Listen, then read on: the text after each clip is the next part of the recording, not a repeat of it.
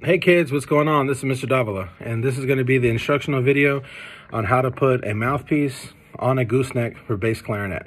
Okay, so when you're playing bass clarinet, if you have something that looks like this, this is called a gooseneck. Okay, this part here with the cork, it goes inside the body of the bass clarinet, and this is where the mouthpiece goes into. Okay, so how we connect them is this: we have a mouthpiece that looks like this. The bottom part is going to have some cork, and then it's going to have a flat part a thin part, and then it goes all the way to the tip.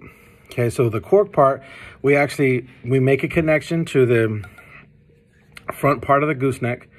We make a connection here. As soon as we make a connection, we can twist left, right, left, right. And then we, we, we go all the way until we don't see any space in between the mouthpiece and the gooseneck. Okay, if you've done this little part correctly, you're going to see here where there's a space, there's a flat part here, there's the opening for the mouthpiece and then the gooseneck. It goes all the way down here. Okay. If you try putting the mouthpiece on here, it's not going to fit. And you, you might even break the mouthpiece. So make sure that you put it on the front part of the gooseneck. Okay. All right. The next thing we'll do is we need to make sure to put the ligature on correctly. This is a ligature. This actually goes on top of, on top of the mouthpiece like this. Okay. All right, so it should be like this. So if you've, if you've actually managed to do something like this, you've actually done it correctly. Just like this. It just slides. And notice how I'm holding it with two fingers and a thumb like this. And I slide it on just like that.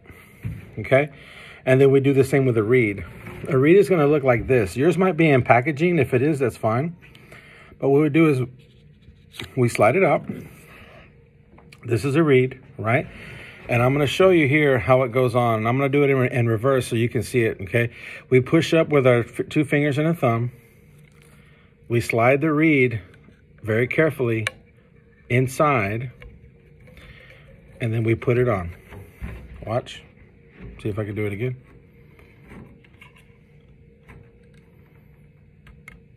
Okay. And then we want to line up. I'll show you really closely here. We want to line up the tip of this mouthpiece here to the tip of this reed. It should be all like this. And I'll show you how, how it's going to look, the final product. Okay, let me adjust it. Okay. It should look like this. The tip of the reed should be at the very tip of the mouthpiece. Okay. And if you've done that, you successfully completed, you put a reed on to a mouthpiece and a gooseneck. Okay. And then how to undo it is this if if you are actually dealing with the screw, okay, if you're screwing like like in the downward direction like this, you're loosening it, and if you're screwing towards the top of the reed, you're actually tightening it. Okay, once you have it tightened where you feel it snug, then you let it go.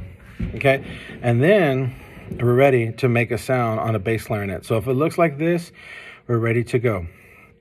And how you make a sound on a bass clarinet is you simply put the tip of the mouthpiece in your mouth and you put it right here on your bottom lip like this.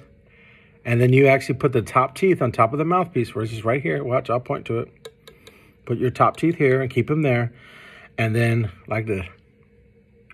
And then blow air. Okay? All right, so that's how to put an actual mouthpiece on a gooseneck for a bass clarinet in less than four minutes. We hope this video helped. Okay? All right. If you have any questions, ask me or Mr. Funes, and we'll be more than happy to help you. Happy Thanksgiving.